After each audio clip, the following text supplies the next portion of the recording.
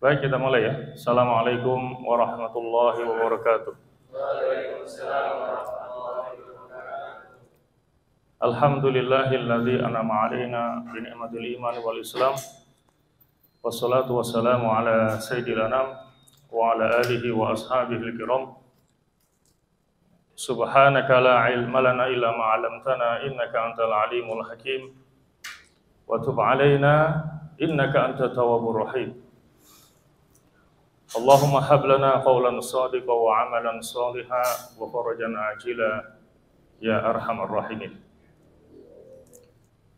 segenap peserta pesantren Ramadan 1445 Hijriah Dewan Dakwah Islamiyah Indonesia Kota Pekalongan yang kami cintai dan kami banggakan.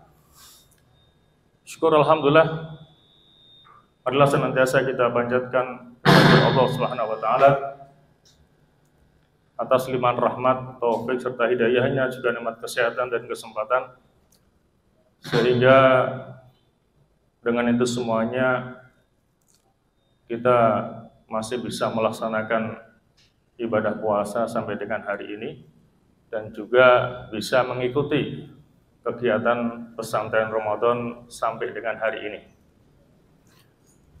Kita berdoa semoga ini merupakan bagian daripada amal soleh yang akan diterima oleh Allah Subhanahu wa taala dan dilipat gandakan pahalanya oleh Allah Subhanahu wa taala. Pada sesi yang pertama hari kedua ini saya kebagian mendapatkan materi tentang kurdis ya. Singkatan daripada Quran hadis. Artinya kita akan membahas ayat-ayat Al-Quran maupun hadis-hadis Nabi terkait dengan sebuah tema. Dan tema yang kita pilih adalah ini ya. 24 jam mencari surga. Kita akan sampaikan beberapa ayat maupun hadis yang terkait dengan tema ini. 24 jam mencari surga. Setiap orang mendapatkan jatah waktu yang sama. Setiap orang mendapatkan jatah per hari 24 jam. Kenapa ada yang sukses, ada yang gagal? Kira-kira apa penyebabnya? Yang sukses tidak mendapatkan waktu yang lebih lama daripada yang gagal. Jatahnya sama, ada yang sukses, ada yang gagal. Apa sebabnya? Hah? Kodarullah. Iya, itu.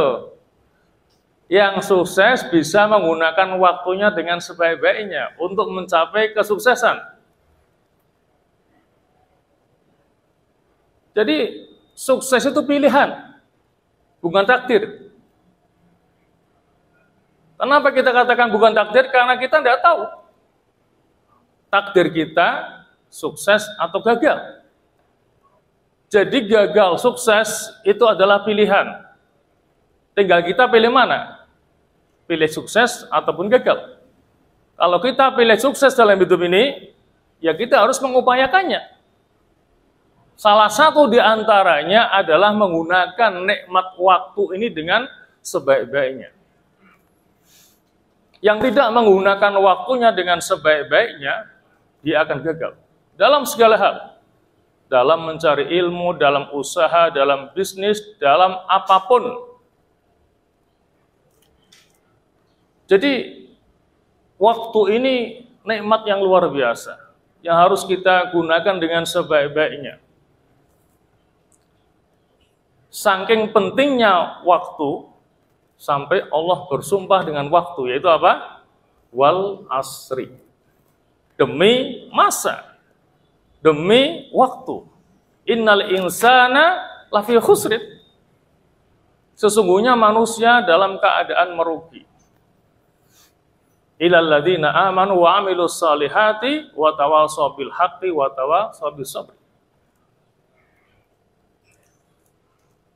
Maka kita patut bersyukur karena kita bisa menggunakan waktu kita hari ini untuk hal yang positif, untuk hal yang ada manfaatnya. Qala Al-Wazir As-Saleh Yahya ibn Hubairah telah berkata seorang menteri yang soleh namanya Yahya ibn Hubairah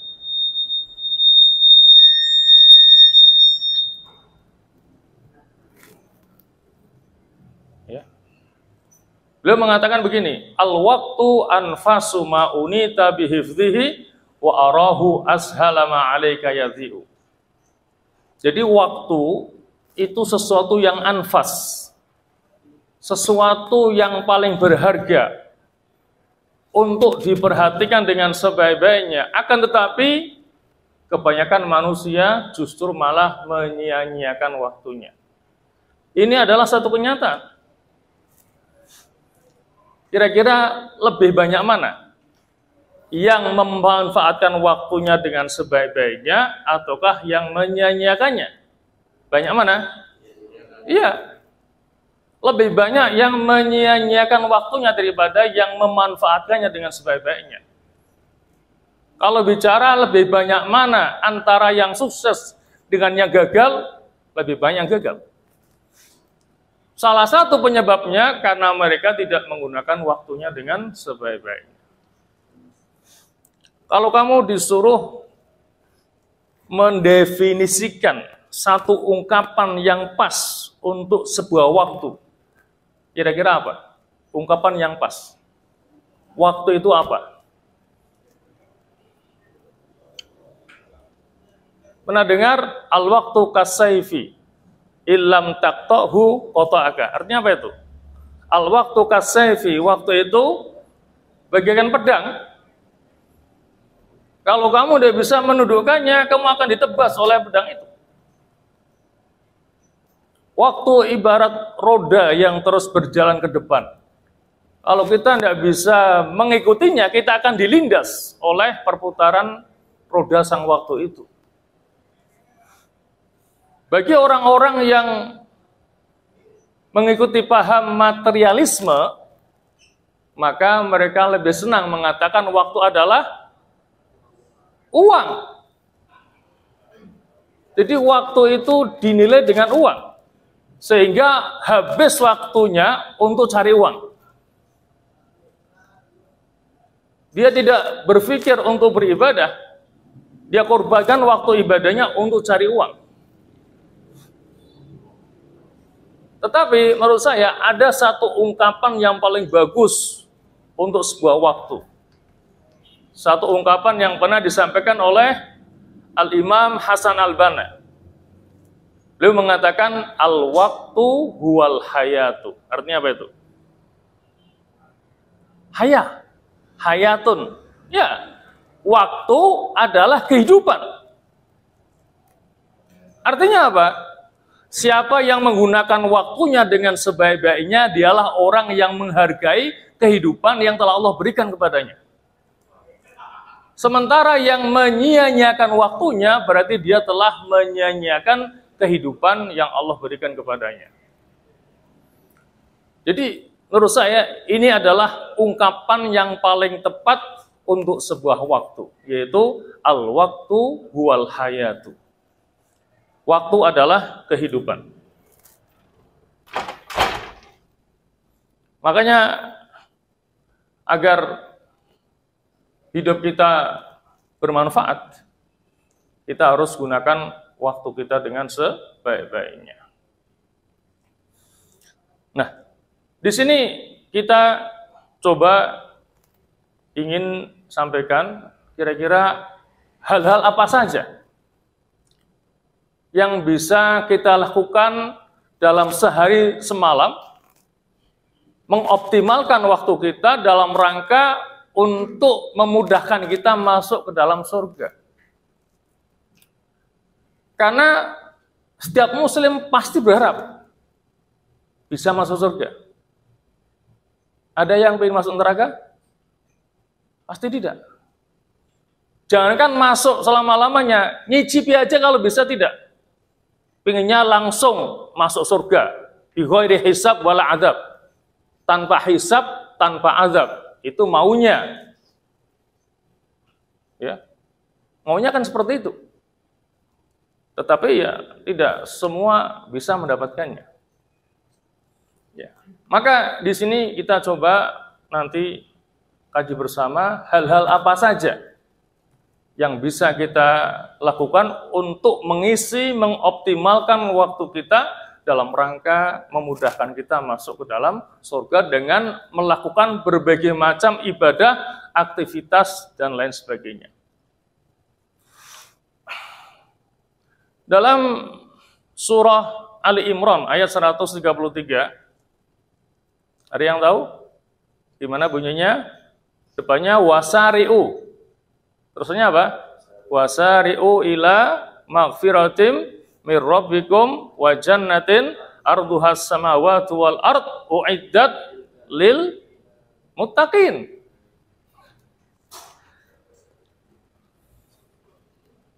Artinya apa, Salman? Wasari'u dan bersegeralah. Jangan suka menunda-nunda kesempatan yang Allah berikan kepada kita Perintahnya bersegera. Jangan tunda waktu. Melakukan berbagai macam amalan ibadah yang akan memudahkan kita mendapatkan ampunan dari Allah dan memudahkan kita masuk ke dalam surganya. Ada yang tahu apa itu surga? Surga, kira-kira apa? Yang kamu tahu, surga itu apa? Ibras? Tempat yang paling nikmat. Habibi? Yang paling indah? Itu ya. Pernah membayangkan gimana gambaran surga? Bisa dibayangkan enggak? Iya.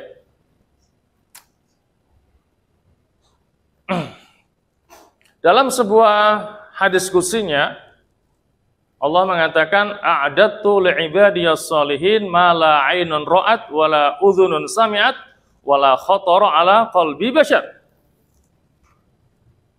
Telah aku siapkan bagi hamba-hambaku yang soleh kenikmatan yang belum pernah dilihat oleh mata, belum pernah didengar oleh telinga, belum terlintas dalam alam pikiran manusia, itulah surga. Jadi kalau kamu membayangkan surga itu seperti ini, bukan seperti ini. Seperti itu juga bukan seperti itu.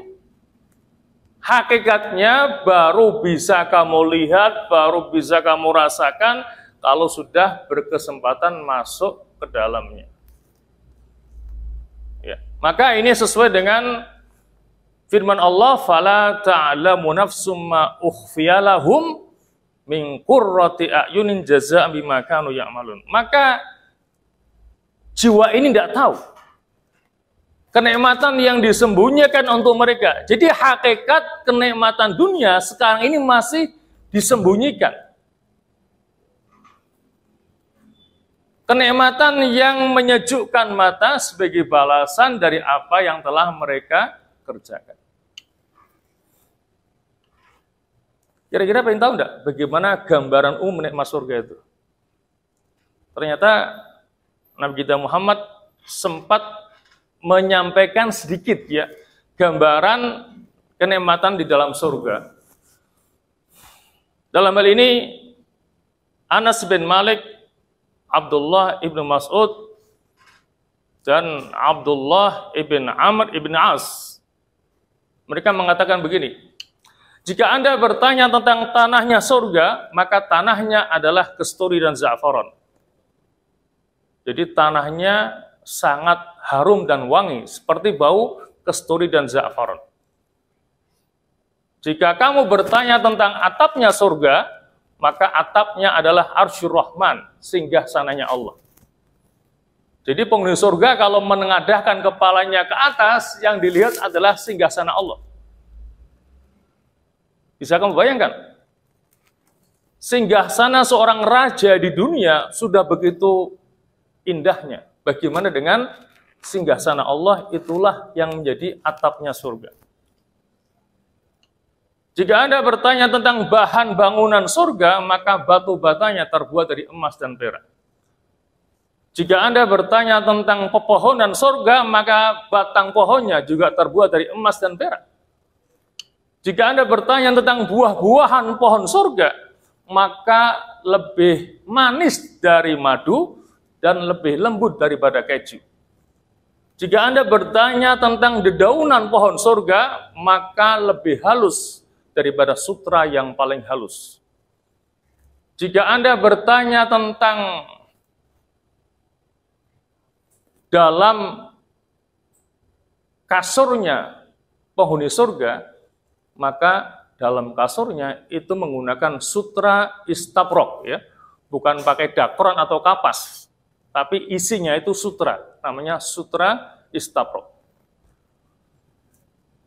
Jika kamu bertanya tentang sungai-sungai yang ada di surga, maka ada tiga macam sungai, yaitu sungai dari susu, dari madu, dan dari arak. Silahkan pilih sendiri.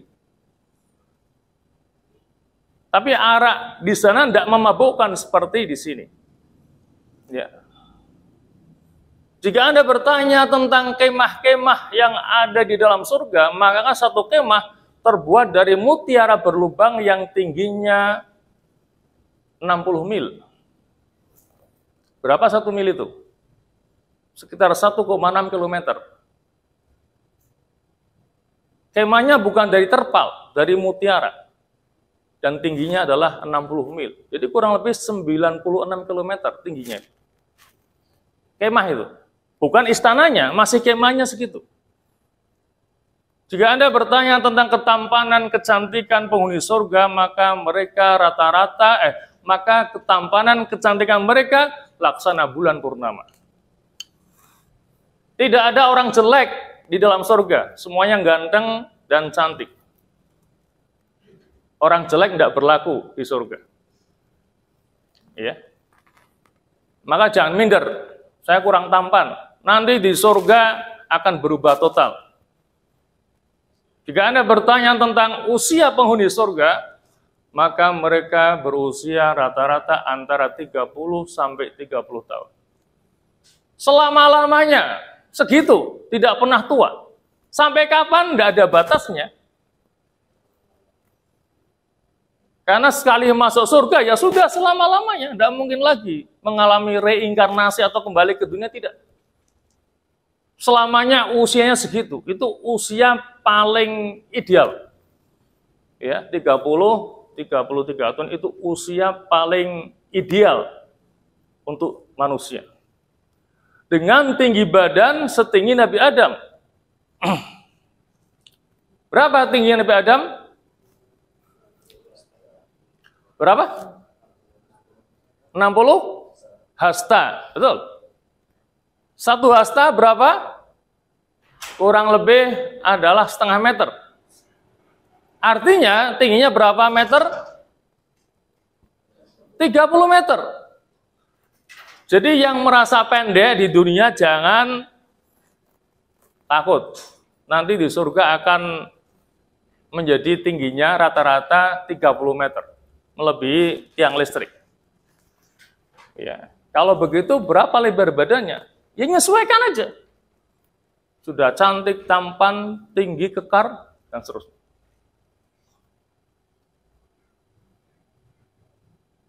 Jika Anda bertanya tentang dedaunan pohon surga yang tertiup oleh angin, maka akan menimbulkan irama ataupun suara yang enak didengarkan oleh telinga. Dan masih banyak lagi, kita tidak sebutkan semuanya, tapi setidaknya itu menggambarkan kepada kita, begitulah kenikmatan yang ada di dalam surga. Tapi itu hanya sebatas gambaran, bukan hakikat. Ya, makanya kalau ingin merasakan, ya bersegera dan mengatakan saya masih muda, masih remaja, masih jauh meninggal dunianya. Tidak ada jaminan. Masih ingat ada tujuh golongan yang akan mendapatkan naungan Allah pada hari tidak ada naungan kecuali naungan Allah. Salah satunya apa? Siapa? Wasyabun nasya'a fi ibadatillah. Seorang pemuda atau remaja yang tumbuh berkembang dalam suasana beribadah pengabdian kepada Allah Subhanahu wa taala. Jadi kalau ingin masuk surga perlu direncanakan dari sekarang, bukan nanti kalau sudah tua. Ya dari sekarang. Kalian masih remaja sudah berpikir bagaimana caranya agar saya bisa masuk surga. Bisa menikmati semua kenikmatan yang ada di dalamnya itu. Sehingga tidak hanya sebatas utopia, lamunan semata bisa menjadi kenyataan. Ya. Arduhas samawatul ard. Luasnya seluas langit dan bumi. Allah katakan bahwa surga itu luasnya seluas langit dan bumi itu tidak untuk membatasi tetapi untuk menjelaskan kepada kita betapa luasnya surga itu. Karena kebetulan di antara makhluk Allah yang paling luas yang diketahui oleh manusia adalah langit dan bumi. Karena kalau Allah mengatakan surga itu luas, kita bertanya, ya Allah, seberapa luasnya surga? Maka untuk memudahkan gambaran bagi kita manusia betapa luasnya surga itu, Allah memberikan gambaran. Dua di antara makhluknya yang paling luas yang diketahui oleh manusia adalah langit dan bumi. Maka Allah katakan bahwa surga itu luasnya seluas langit dan bumi. Hanya sekedar penggambaran. Hakikatnya bisa jauh lebih luas dari itu. Semuanya itu apa? Uiddat lil muttaqin. Diperuntukkan bagi orang-orang yang bertakwa kepada Allah Subhanahu wa taala. Dan semoga kalau kita kaitkan dengan ibadah puasa, semoga ibadah puasa menjadikan kita orang-orang yang bertakwa. Dan surga itu diperuntukkan bagi orang yang bertakwa. Baik, katakanlah itu sebagai mukadimah ya. Kita sekarang masuk kira-kira amalan apa saja yang bisa kita kerjakan agar memudahkan kita masuk ke dalam surga. Dimulai dari ini ya, mencari surga sepanjang hari ini. Dari pagi, subuh, sampai sore. Nanti ada lagi mencari surga sepanjang malam. Nah, kita mulai dari pertama, mencari surga sepanjang hari. Nah, ini. Diawali dari apa? Waktu subuh ini. Ya, mencari surga pada waktu subuh. Allah Subhanahu wa taala berfirman dalam surah At-Takwir ayat 18, wasubhi idza tanafas. Artinya apa? Demi waktu subuh apabila fajarnya telah menyingsing. Di sini Allah bersumpah dengan waktu subuh. Ini menunjukkan apa? Waktu subuh adalah waktu yang istimewa. Yang harus kita perhatikan. Tadi saya share ya di grup pesan itu. Doa Nabi apa? Allahumma barik li ummati fi bukuriha. Ya Allah berikanlah keberkahan untuk umatku di pagi hari mereka. Artinya umat Nabi Muhammad yang sudah memulai kegiatan dan aktivitasnya sejak pagi hari, tidak pagi untuk tidur, didoakan oleh Nabi Muhammad akan mendapatkan keberkahan dari Allah taala. Itu doa Nabi. Allahumma barik li ummati fi bukuriha. Di sini Allah bersumpah dengan waktu subuh ya. Wasubhi idza tanafas. Apa yang kita lakukan di waktu subuh? Tentu yang pertama adalah dengan sholat subuh ber, berjamaah. Yang diawali dengan sholat sunnah qobliyah dua rakaat. Apa keutamanya qobliyah subuh? Lebih baik daripada dunia dan seisinya. atal fajri khairun minat dunia wa mafiyah. Melaksanakan qobliyah subuh dua rakaat itu nilainya jauh lebih baik daripada dunia dan seisinya. Meskipun kita orang miskin tidak punya apa-apa, Tapi kalau bisa menjaga qobliyah subuh dua rakaat, hakikatnya kita punya dunia dan seisinya. Dalam pandangan Allah dan Rasulnya. Apa keutamaan sholat subuh berjamaah ini? Man, wa man sholat subha fi jamaatin faka'an nama sholat kullah. Barang siapa yang sholat subuh dengan berjamaah, maka seakan-akan dia sholat sepanjang malam. Bayang? Katakanlah dari jam 8, 9, 10, 11, 12, 1, 2, 3, 4. Pernah kamu sholat malam 8 jam? Terawih aja satu jam udah pegel-pegel, ya. Belum pernah dan tidak akan pernah saya yakin. Kalian tidak akan pernah bisa sholat malam 8 jam. Tetapi pahalanya bisa kamu dapatkan dengan cara yang mudah. Sholat subuh berjamaah. Itu nilainya sama dengan sholat sepanjang malam. Dan Itulah yang paling ditakuti oleh orang-orang Yahudi. Jadi sekarang ini serdadu Yahudi, Israel, itu senantiasa mengamati bagaimana kondisi kaum muslimin ketika sholat subuh. Mereka mengatakan jika seandainya jamaah sholat subuh kaum muslimin sudah seperti sholat idul fitri, atau Idul Adha, maka hancurlah orang Yahudi. Tapi kapan bisa terwujud? Sholat subuh berjamaah seperti sholat id, bayangkan. Itu yang paling ditakuti orang, oleh orang Yahudi. Tapi kenyataan gimana? Jamaah paling sepi, sholat subuh. Kadang tidak ada jamaahnya, Kadang ada cuma dua, imam sama muadzinnya. Muadzin merangkap makmum sama satu imamnya. Maka orang Yahudi masih merasa senang ketika melihat jamaah subuh kaum muslimin masih sedikit. Itu mereka bangga. Artinya mereka masih punya harapan. Yang mereka takutkan kalau sampai jamaah subuh kita sudah seperti sholat id. Kita tidak tahu.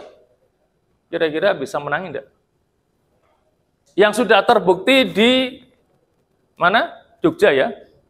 Masjid Joko Karyan itu. Ya kan?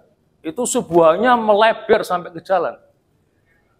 Saya tidak tahu karena elas karena kah? Habis itu ada ada ada makan ada sarapan paginya soalnya. Jadi masalah betul niat subuhan atau habis itu mau makan, kurang tahu.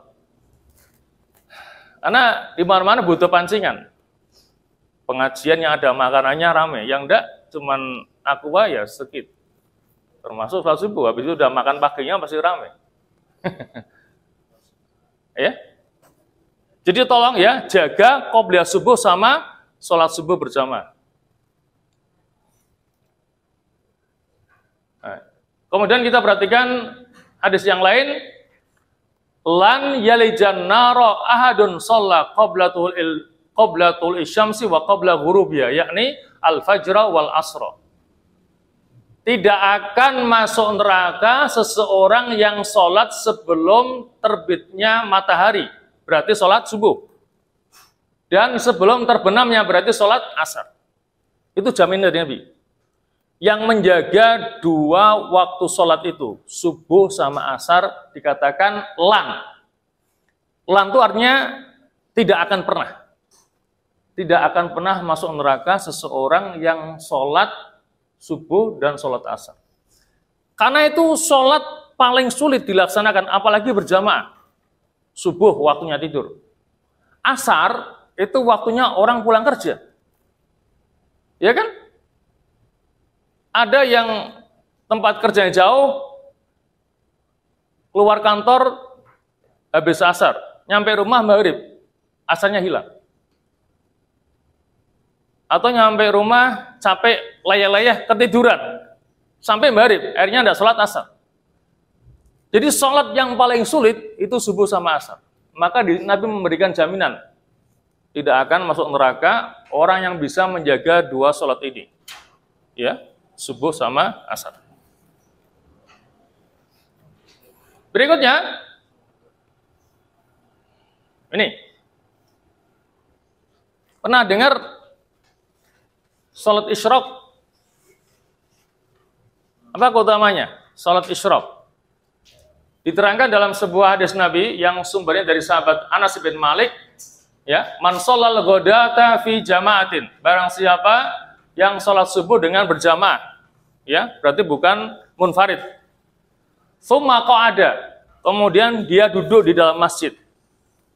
Ya zikrullah. Kemudian dia berzikir kepada Allah. Dengan membaca lafat-lafat zikir atau membaca Quran atau juga termasuk mendengarkan ceramah agama yang ada di masjid itu hatta tatul asyamsu sampai matahari terbit. Sekarang kurang lebih jam 5.45 ya. Itu terbitnya matahari. Summa sholat rokaat ini kemudian sholat dua rakaat, yaitu sholat sunnah isyrok. Ya. Kita tidak boleh begitu matahari terbit, sholat isyrok tidak boleh. Harus ada kelebihan waktu. Ya barang lima menit lah. Karena kita tidak boleh menyamai orang yang menyembah matahari. Ya, seperti agama Sinto di Jepang itu kan menyembah matahari. Nah, makanya kalau kita melaksanakan sholat isyrok, tidak boleh pas matahari terbit, harus dilebihkan. Jadi setelah terbit berapa saat baru kita melaksanakan sholat sunnah isyrok dua rakaat. Apa pahalanya? Kanat lahu ka ajri hajjatin wa umroh maka dia akan mendapatkan pahala seperti haji dan umroh. Kala Rasulullah, tamah, tamah, tamah. Sempurna, sempurna, sempurna, sampai tiga kali. Artinya, seseorang setiap paginya itu bisa mendapatkan pahala seperti pahalanya haji umroh yang sempurna, sempurna, sempurna dengan cara yang mudah. Ya kan? Dengan melaksanakan sholat sunnah isyraq dua rakaat ini.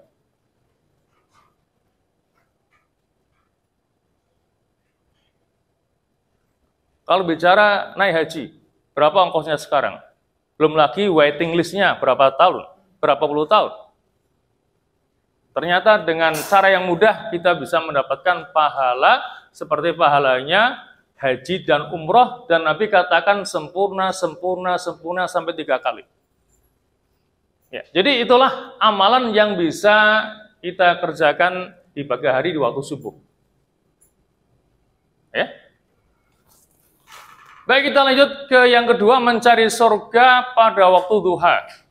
Ini terkait dengan keutamaan sholat duha ya. Ada sebuah hadis, ini sumbernya dari sahabat Abu Hurairah. Beliau mengatakan, Ausani khalili. Kekasihku Nabi Muhammad berwasiat kepadaku bisalasin dengan tiga hal. La ada ahunna hata amut. Aku tidak meninggalkan ketiga pesan itu sampai aku meninggal dunia. Jadi ketiga pesan Nabi ini diamalkan oleh Abu Hurairah sampai beliau meninggal dunia. Ini pesan kepada Abu Hurairah secara khusus, umumnya kepada kita selaku umatnya. Yang pertama apa? Saumi salah satu ayam dengan melaksanakan puasa selama tiga hari dalam sebulan, yaitu pada ayamil bid. Itu tanggal berapa? 13, 14, 15 bulan Komariah, bukan bukan Syamsiah ya. puasa sunnah tiga hari dalam sebulan pada ayamil bid. Sesungguhnya bagi orang yang bisa melaksanakan puasa sunnah tiga hari dalam sebulan, itu nilainya bisa sama dengan puasa sepanjang tahun. Kenapa bisa begitu? Kita tidak boleh samudar, kita tidak boleh puasa sepanjang tahun. Tidak boleh. Puasa terus tidak boleh. Haram hukumnya. Puasa terbaik adalah puasa Dawud. Sehari puasa, sehari berbuka. Tetapi dengan puasa cukup tiga hari dalam sebulan, nilainya bisa sama dengan puasa sepanjang tahun. Mengapa? Wal hasanatu bi asyri amsalihya. Karena satu kebaikan itu akan dilipat gandakan pahalanya menjadi sepuluh. Artinya kalau kita puasa tiga hari dalam sebulan, sama nilainya dengan puasa 30 hari. Dan kalau itu kita rutin tiap bulan, berarti sepanjang tahun kita seperti puasa. Ya. Itulah kemudahan dalam mendapatkan pahala. Kalau kita mau. Itu wasiat yang pertama. Kemudian yang kedua apa? Wasolati duha. Salat duha, kemudian wa naumin ala witrin. Artinya melaksanakan sholat witir sebelum tidur. Itulah tiga pesan Nabi kepada Abu Hurairah khususnya dan kepada kita selaku umatnya. Itu cara mencari surga di waktu duha dengan melaksanakan sholat duha. Kemudian yang ketiga, mencari nafkah di siang hari. Juga merupakan jalan menuju surga. Ini tentunya bagi yang sudah bekerja dan bagi yang sudah berkeluarga ya untuk kalian sekarang waktunya untuk cari ilmu. Tapi kita sampaikan di sini agar nanti kalau kalian sudah bekerja, berkeluarga, semangat dalam mencari nafkah. Karena itu juga merupakan bagian dari ibadah kepada Allah Subhanahu wa taala. Ini. Dalam surah Al-Qasas ayat 73 Allah Subhanahu wa taala berfirman, "Wa min rahmatihi wa min rahmatihi ja'ala lakumul laila wan nahara litaskunu fihi wa litabtahu min fadlihi wa la'allakum tashkurun. Wa min rahmatihi dan di antara rahmatnya, rahmat Allah, ja'ala Allah jadikan lakum untuk kalian al-laila malam hari wan nahara dan siang. Untuk apa? Litaskunu fihi. Allah jadikan malam ini untuk kalian beristirahat dan untuk mencari karunianya pada siang hari. Jadi malam itu waktu untuk istirahat, siang hari waktu bekerja, mencari karunia Allah. Wala'allakum tashkurun dan agar kalian bersyukur kepadanya kepada Allah yang telah memberikan rezeki kepada hamba-hambanya. Kemudian dalam surah Al-Furqan ayat 47 Allah menyatakan wa ja'alan nahara nusyura. Waja'ala dan Allah jadikan an-nahar siang hari nusyuro. Bergerak ya untuk berusaha. Untuk bekerja.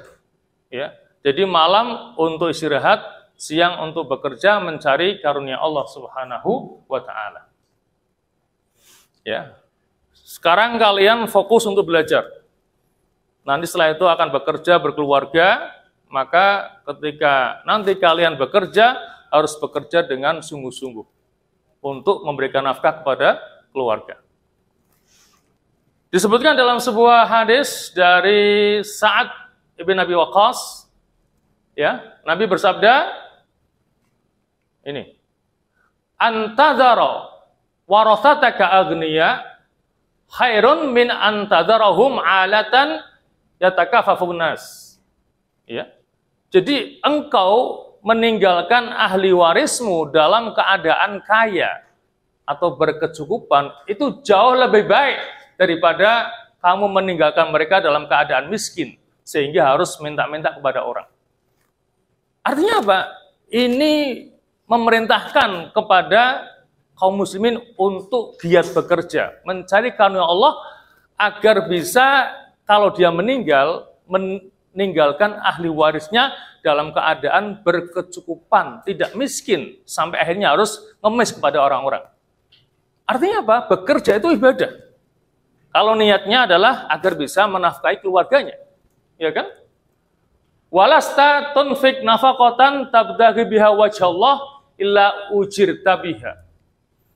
Dan tidaklah engkau menginfakkan satu nafkah yang engkau mengharapkan wajah Allah, melainkan engkau akan mendapatkan pahala. Jadi kalau niat bekerjanya, ya, karena mencari ridho Allah, itu akan berpahala.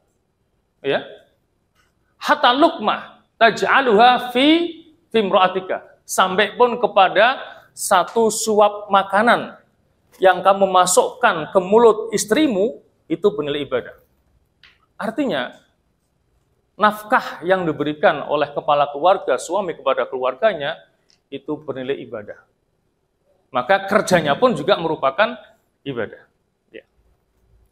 Jadi, bekerja karena melaksanakan perintah Allah, mencari ridhonya, itu juga merupakan ibadah yang akan memudahkan seseorang masuk ke dalam surganya. Ya, asal niatnya betul ya. Ya. Untuk bisa menafkahi keluarganya dengan rezeki yang halalan thayyibah, halal lagi baik. Berikutnya yang keempat adalah menuntut ilmu agama jalan ke surga. Tentunya kalian sudah sering mendengar hadis ini ya. Man salaka tariqan yaltamisu fihi ilman sahalallahu lahu bihi tariqan ila jannah. Siapa yang bisa menerjemahkan? Ayo. Hah? Man salaka barang siapa yang menempuh tariqan satu jalan yaltamisu fihi ilman untuk mencari ilmu, ya seperti kalian. Dari rumah kemari niatnya untuk cari ilmu. Ya kan? Maka apa? Sahhalallahu lahu bihi tariqan ila jannah. Maka Allah akan memudahkan baginya jalan menuju surga. Karena dengan mencari ilmu agama, orang akan tahu mana yang baik, mana yang buruk, mana yang halal, mana yang haram. Makanya kalian masih sebagai seorang pelajar harus semangat dalam mencari ilmu. Karena dijanjikan itu semuanya akan memudahkan kalian masuk ke dalam surga. Dan di sini memang lebih dikhususkan kepada ilmu agama. Karena mencari ilmu agama itu hukumnya apa? Fardu ain. Kalau ilmu umum itu fardu kifayah. Kalian semuanya tidak wajib ya menguasai ilmu kimia, fisika, biologi tidak. Tapi kalau ilmu agama itu wajib, fardu ain. Ya.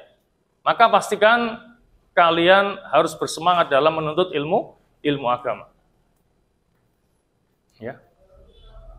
Saya tanya, bagaimana hadis Nabi yang memerintahkan kita untuk cari ilmu?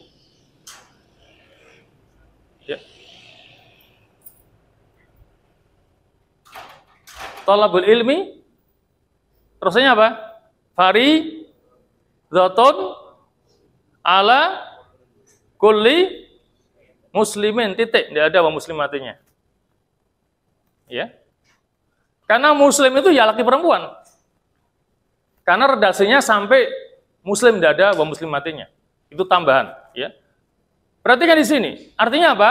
Bahwa mencari ilmu itu faridotun apa artinya faridot bukan wajib amat sangat diwajibkan sekali. Kalau wajib, Nabi mengatakan wajib atau fardun. Nabi mengatakan faridotun. Perhatikan ada tak marbutoh di akhirnya kan? Itu tak marbutoh bukan litaknis, bukan untuk menunjukkan jenis mu'anas perempuan bukan. Tetapi namanya ta'un lil mubalaghah. Tak untuk menunjukkan makna lebih. Sehingga kalau diartikan faridoh itu bukan sekedar wajib, tetapi amat sangat diwajibkan sekali yang apabila muslim tidak melaksanakannya berarti dia berdosa. Jadi mencari ilmu agama itu amat sangat diwajibkan sekali karena hukumnya fardu ain. Adapun ilmu umum itu adalah fardu kifayah. Maka hendaknya ini lebih menyemangati kalian dalam mencari ilmu. Ya. Jangan sampai kalah sampai yang tua-tua. Sudah tua-tua, umur 60 masih berusaha cari S2, S3, kadang doktor. Ya kan? Kalian masih jauh perjalannya.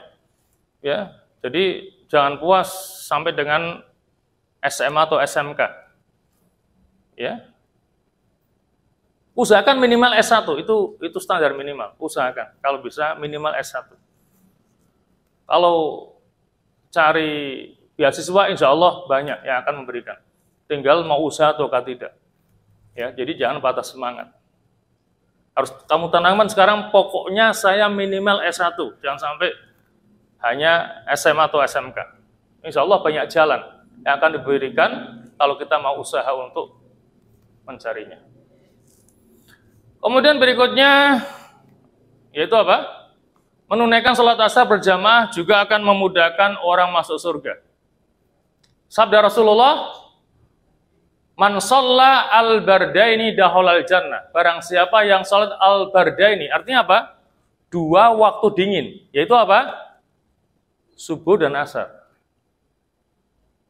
Karena subuh itu ya dingin ya, masih pagi hari. Asar termasuk dingin karena lebih dingin daripada zuhur. Ya, jadi Nabi menyebutnya al bardaini, dua waktu dingin. Itu maksudnya adalah sholat subuh dan asar, maka dijamin apa? Dakhalal jannah akan masuk ke dalam surga. Ya.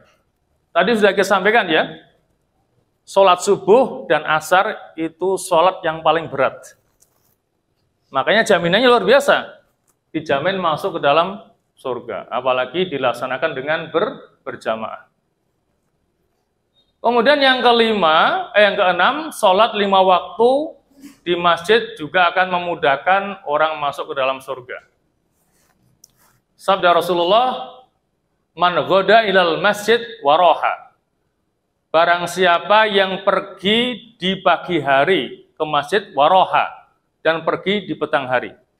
Jadi kalau goda itu pergi di pagi hari, kalau roha di petang hari. Ini sudah mencakup sholat lima waktu. Ya, jangan diartikan goda berarti cuma subuh. Ini berarti asar, enggak. Ini sudah mencakup sholat lima waktu. Siapa yang pergi ke masjid di pagi dan petang hari itu meliputi lima waktu sholat. Maka apa? A'addallahu. Allah akan menyiapkan lahu baginya nuzulahu minal jannah. Tempat tinggalnya yang baik di dalam surga. Kullama roha, kullama goda, au roha. Setiap kali dia pergi, baik di waktu pagi maupun di petang hari.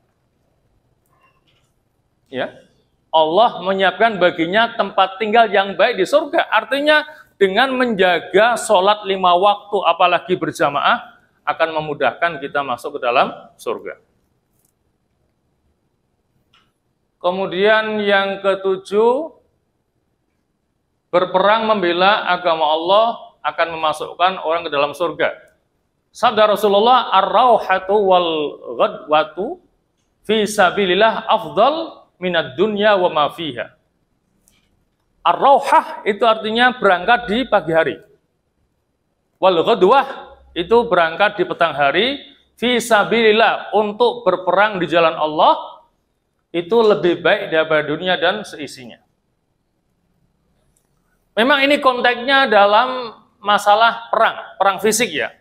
Tetapi kalau kita ambil makna yang lebih luas, maka sesungguhnya kalian belajar itu juga merupakan jihad fisabilillah. Karena dalam rangka apa? Untuk memerangi kebodohan. Ya, untuk memerangi kebodohan. Memang ini konteksnya berperang secara fisik. Ya, tapi kalau kita ambil makna yang luas, maka seseorang yang cari ilmu, maka sesungguhnya dia juga akan dihitung dalam suasana berjihad di jalan Allah Subhanahu wa taala. Jadi itulah beberapa amalan yang bisa kita kerjakan sepanjang hari. Ya. Tadi diawali dari waktu subuh, terakhir sampai tadi berjuang di jalan Allah Subhanahu wa taala. Itulah amalan-amalan yang apabila kita kerjakan maka akan memudahkan kita masuk ke dalam surganya. Ada pertanyaan sebelum kita masuk ke Poin yang kedua, mencari surga sepanjang malam. Ya, silakan.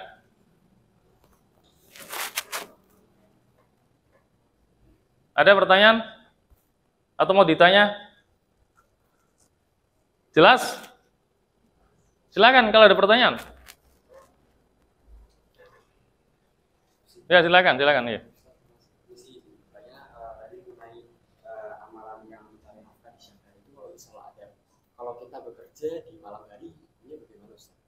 Oh iya. Iya betul. Memang yang disampaikan di sini adalah idealnya. Idealnya kerja itu siang hari, malam untuk istirahat. Karena zaman Nabi tidak ada kerja kantoran. yang ada berdagang. Kalau tidak mengembalakan binatang.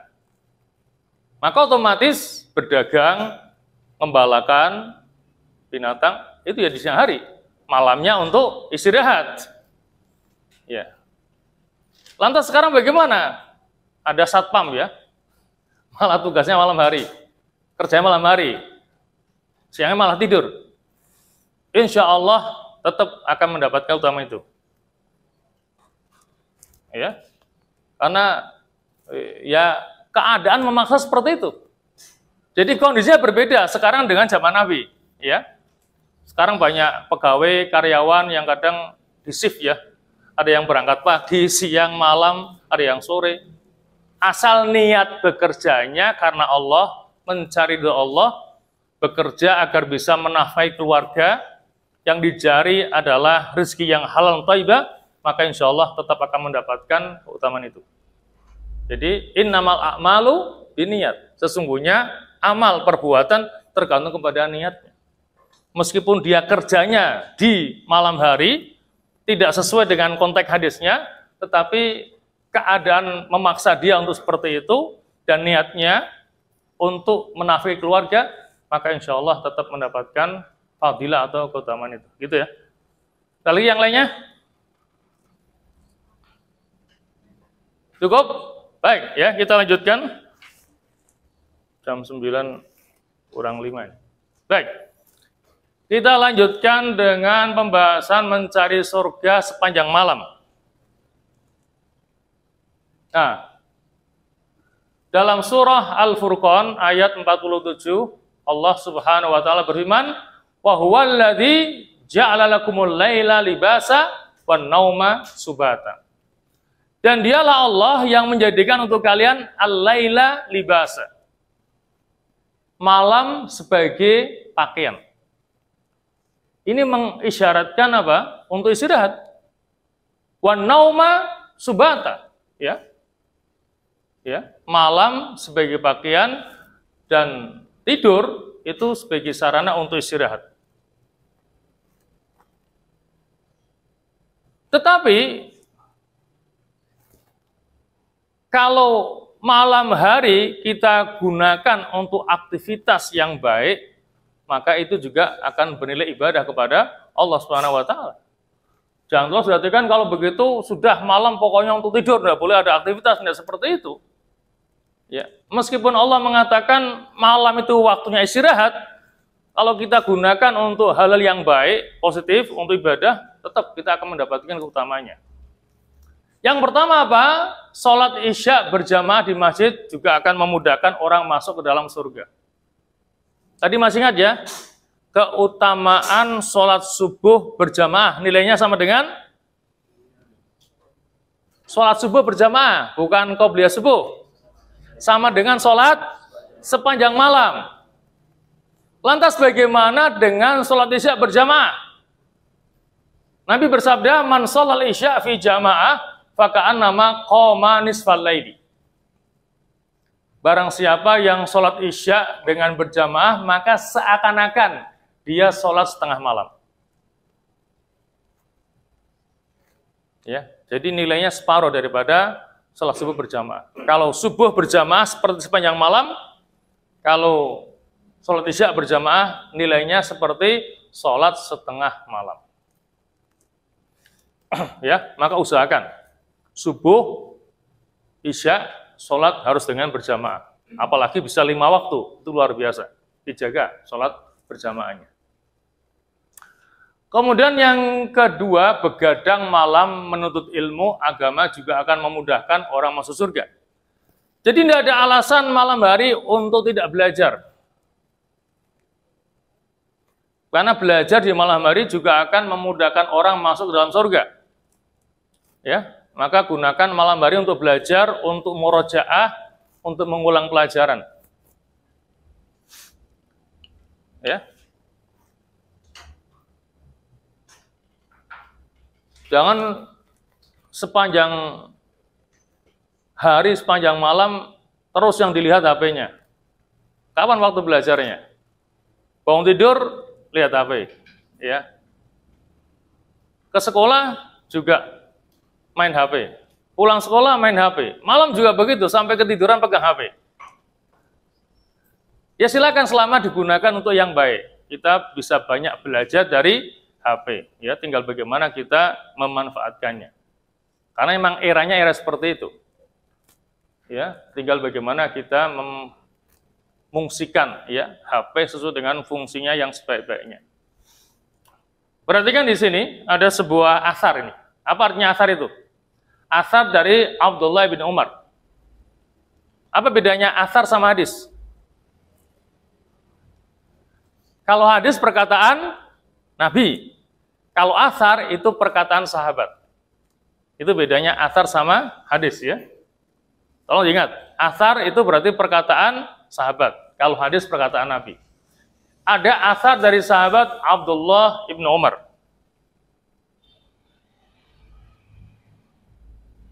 Ya, bina Nabi sallallahu alaihi wasallam alisya fi akhir hayatihi. Ibnu Umar mengatakan begini, Nabi Shallallahu Alaihi Wasallam sholat isya bersama kami pada akhir hayatnya. Karena sebulan setelahnya Nabi wafat. Ya, jadi setelah Ibnu Umar menyampaikan ini, sebulan kemudian Nabi wafat. Maka Ibnu Umar mengatakan Nabi sholat bersama kami, yaitu sholat isya pada akhir hayatnya. Falama sallama qama faqala. Maka ketika beliau sudah mengucapkan salam, beliau qama, bangkit, waqala dan bersabda.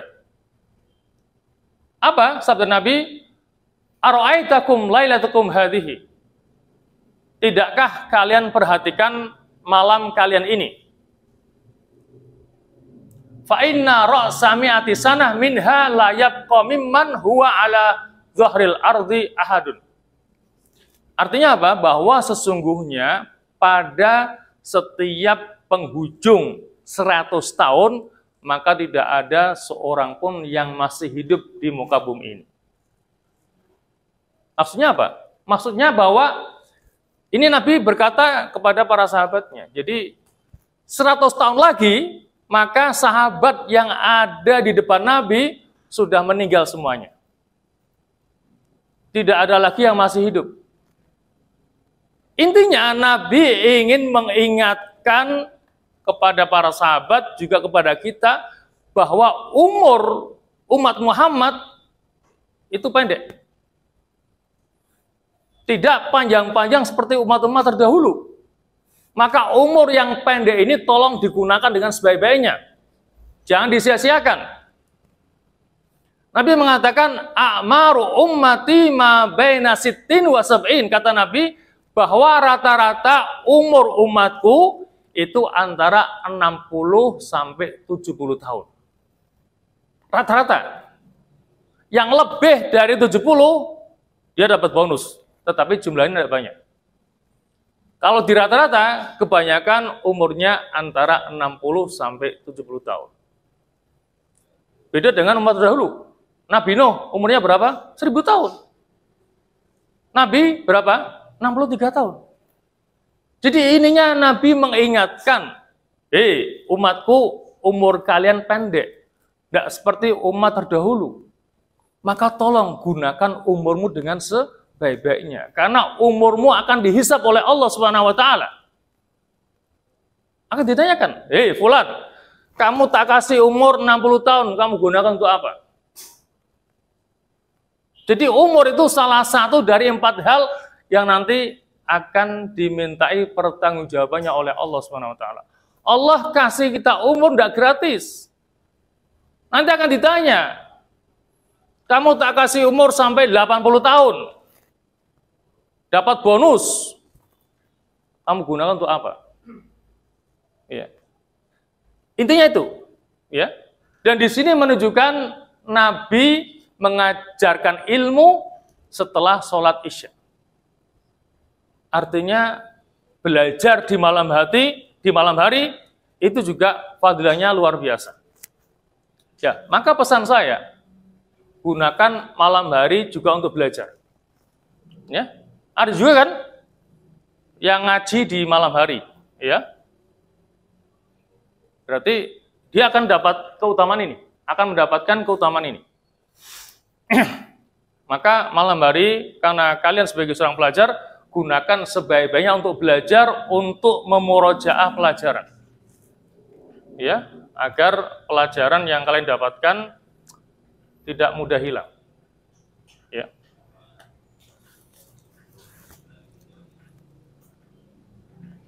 Kalian kenal ya siapa itu Ibnu Abbas? Abdullah Ibnu Abbas. Siapa itu? Ibnu Amir Rasul, anak pamannya Rasulullah, Abdullah Ibnu Abbas. Beliau mendapatkan tiga gelar kehormatan. Pertama apa? Al-Habru, Al-Bahru, sama Turjumanul Quran. Al-Habru artinya al-alim as-soleh. Orang yang alim dan soleh. Karena ada orang alim tapi tidak soleh. Soleh tapi tidak alim. Tapi kalau al-habru artinya al-alim as-soleh. Sudah alim juga soleh. Kemudian yang kedua al-bahru. Apa baru? Bahar artinya apa? Lautan. Karena ilmu beliau bagaikan laut yang tidak bertepi. Hampir semua ilmu dia kuasai. Dan yang ketiga, turjumanul Quran, penerjemah Al-Quran. Karena tiga gelar ini, ada orang yang penasaran. Kemudian bertanya kepadanya, Yabna Abbas, Anna laka hadal ilm. Dari mana Anda bisa mendapatkan ilmu yang sebanyak ini? Apa resepnya? Apa rahasianya? Ini perlu kalian praktekkan. Ternyata resepnya cuma dua. Dengan dua resep ini, beliau menyandang tiga gelar kehormatan. Al-Habru, Al-Bahru, sama Turjumanul Quran.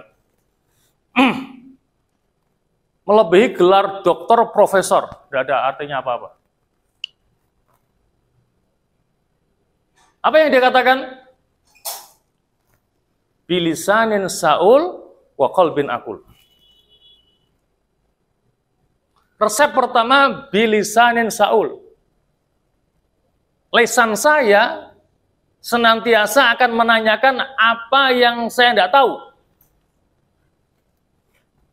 Jadi Ibnu Abbas orangnya cerewet bertanya. Bukan cerewet cerita. Apa saja yang dia belum paham akan dia tanyakan kepada yang paham dan tahu. Ya, maka jangan malas untuk bertanya. Menanyakan apa yang tidak kamu tahu.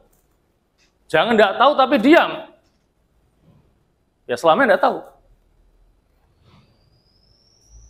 Yang kedua, wakal bin akul.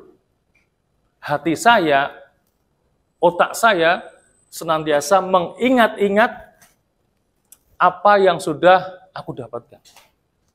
Tidak seperti pepatah, masuk telinga kanan, keluar telinga kiri. Tidak tahu dia bertanya, setelah dapat jawaban, dia hafalkan, dia ingat, kemudian dia kunci. Biar tidak lupa lagi.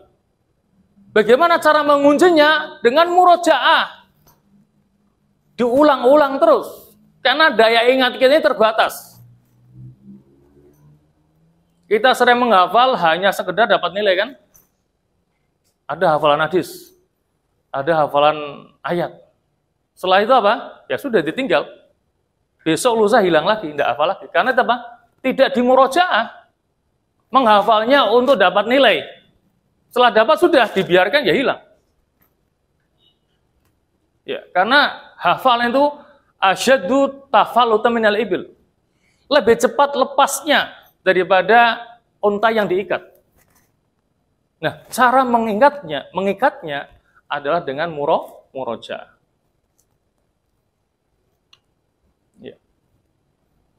Murojaah juga jangan lupa apa?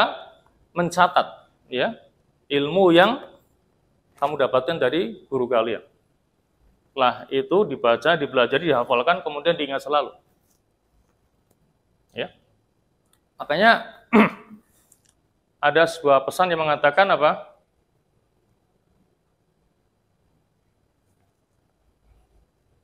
Al ilmu saidun wal kitabatu qaiduhu. Qayyid suyudaka bil hibalil wathiqah. Faminal ghabawati antasida ghazalatan wa tafukkaha bainal hadaiki toliko. Ilmu itu laksana buruan. Jadi kalau kalian datang ke sekolah, ke sini, hakikatnya masih atau ingin berburu ilmu dari guru-guru kalian. Wal kita batu dan mencatat itu adalah pengikatnya. Jadi cara untuk mengikat ilmu yang kamu dapatkan adalah dengan mencatatnya. Tidak cukup hanya didengarkan. Karena hafalan kita ini sangat terbatas sekali. Kalau kita tidak mencatat, lupa ya sudah hilang ilmu itu. Kalau kita punya catatannya, bisa kita lihat kembali, oh ternyata tadi yang disampaikan. Karena punya catatan. Jadi pengikat ilmu itu adalah catatan. Maka dikatakan, faminal gobawati adalah merupakan satu kebodohan. Ketika orang berburu bisa menangkap seekor kijang, watafukkaha bainal hadaitoli. Kemudian dia bila dia biarkan kijang itu di tengah lapangan. Ke mana? Ya pergi. Sudah capek-capek berburu kijang dapat tidak diikat. Dibiarkan di tengah lapangan akan pergi. Artinya apa? Sia-sia. Sama juga kalian. Berburu ilmu dari berbagai tempat. Tapi cuman jiping, cuma didengarkan toh tidak mau dicatat. Lupa ya sudah hilang ilmunya. Tapi kalau punya catatan, kamu bisa baca kembali, nanti ingat kembali. Itu pentingnya mencatat dalam proses pembelajaran. Ya. Nah, kemudian kita selesaikan nih. Yang ketiga apa ini? Berwudhu dan berdoa sebelum tidur juga akan memudahkan orang masuk surga. Perhatikan hadisnya. Ida ataita madja'aka. Jika kamu datang ke tempat tidurmu, fatawaddo wudu akali solati. Maka berwudulah kamu seperti wudumu untuk sholat. Jadi meskipun tidak untuk sholat, untuk tidur diperintahkan wudhu seperti wudhunya mau sholat. Artinya wudhu dengan sempurna. Summat summat toje ala syikikal aiman kemudian berbaringlah pada lambung kananmu. Tidur miring di lambung sebelah kanan, bukan sebelah kiri. Mengapa? Karena di sini ada jantung. Kalau kamu tidurnya miring sebelah kiri, nanti akan menghalangi atau mengganggu fungsi jantung karena kegencet ini. Jadi posisi tidur itu dua, miring sebelah kanan atau terlentang. Jangan miring sebelah kiri, apalagi tertelungkup. Mana ya, sambil megang bantal atau guling, kemudian begini. Ketahuilah bahwa tidur tertelungkup itu adalah tidurnya penghuni neraka. Tapi mengatakan cara tidur dengan tertelungkup itu adalah cara tidurnya penghuni neraka. Maka hanya ada dua pilihan posisi ketika tidur. Miring sebelah kanan atau terlentang. Jadi silakan bolak-balik antara dua itu. Karena kalau terus-menerus panas juga, tidak nyaman. Tapi jangan miring sebelah kiri, apalagi tertelungkup. Summakul, ya, kemudian bacalah doa ini. Allahumma aslam wajhi ilaika. Ya Allah, aku menyerahkan wajahku kepadamu. Artinya bukan hanya wajah, tapi apa? Seluruh tubuh kita. Ini yang dinamakan apa? min dzikril juz wa iradatil kul. Menyebut sebagian tapi maksudnya adalah keseluruhan. Jadi kita menyerahkan tubuh kita kepada Allah wa waktu amri ilaika. Dan kami memasrahkan urusanku kepadamu ya Allah. Wa alja'tu dhahri ilaika. Dan aku menyandarkan punggungku kepadamu. Ragbatan wa rahbah. Dalam keadaan senang ya maupun takut. Ilaika kepadamu. La malja'a tidak ada tempat berlindung, wala manja, juga tidak ada sesuatu yang bisa menyelamatkan minka dari azabmu, illa ilaika kecuali hanya kepadamu.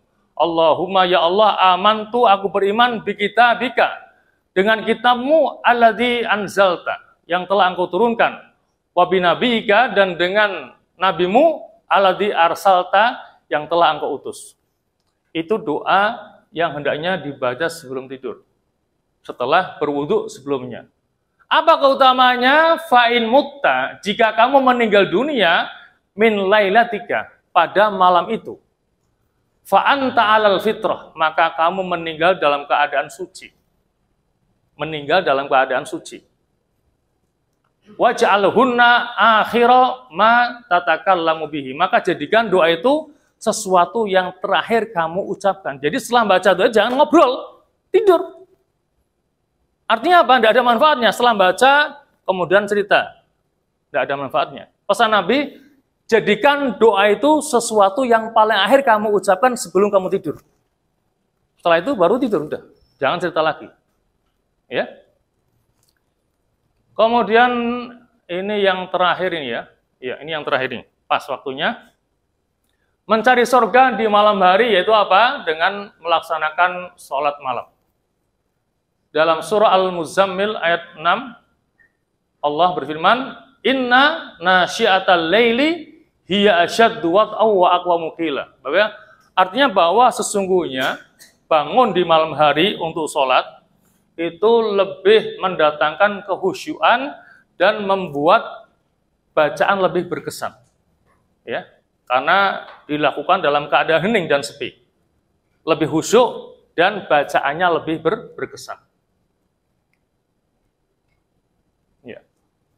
Tetapi masih banyak ya orang-orang yang kadang menggunakan malam harinya malah untuk bermaksiat kepada Allah Subhanahu wa taala. Padahal disebutkan dalam sebuah Nabi, "Yanzilu Rabbuna tabaraka wa ta'ala kulla lailatin ila samai dunya hina yabqa sulusul lailil akhir." Bahwa Tuhan kita, Allah Subhanahu wa taala turun setiap malam ke langit dunia. Pada sepertiga malam yang terakhir. Ya, sepertiga malam terakhir itu ya mungkin dari jam 1 sampai masuk waktu subuh lah. Ya, atau setengah dua sampai masuk waktu subuh. Itu sepertiga malam terakhir. Kemudian Yakul, Allah berkata, Man yad'uni fa'astajibalah. Barang siapa yang berdoa kepadaku, maka aku akan kabulkan doanya. Ya, terutama yang kelas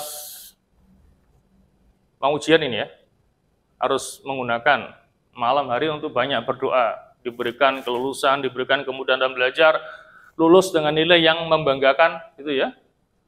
Kemudian man yas'aluni fa'utiyah, barang siapa yang meminta dariku, maka akan aku berikan apa yang di permintaannya.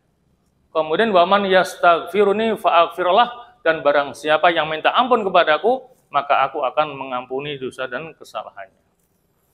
Jadi itulah beberapa amalan yang bisa kita amalkan di malam hari dalam rangka untuk memudahkan kita masuk ke dalam surga. Jadi lengkaplah sudah ya.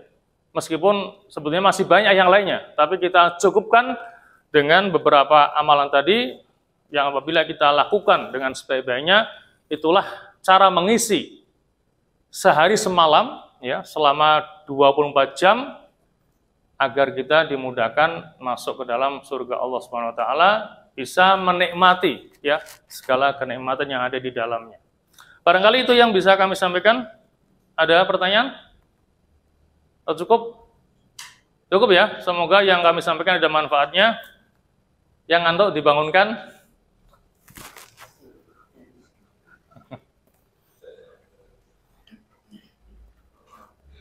No musaimi ibadah katanya. Artinya apa? Tidurnya orang puasa ibadah. Betul ya? Apalagi belajarnya. Nah, jadi dalam memaknai begitu. Kalau tidurnya ibadah, apalagi belajarnya lebih ibadah lagi. ya silakan nanti untuk sesi kedua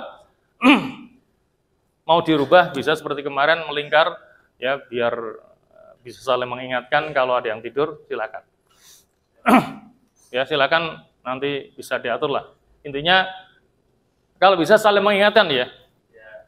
Karena menurut penelitian yang namanya ngantuk itu menular.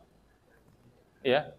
Jadi kalau temannya sudah menguap, itu pasti sebelahnya juga akan menguap itu. Jadi berdasarkan penelitian yang namanya ngantuk, menguap itu adalah menular. Maka usahakan kalau mau menguap ditahan, jangan terus dilepaskan sampai mulutnya terbuka seperti buaya itu. Ya. Ditahan semaksimal mungkin.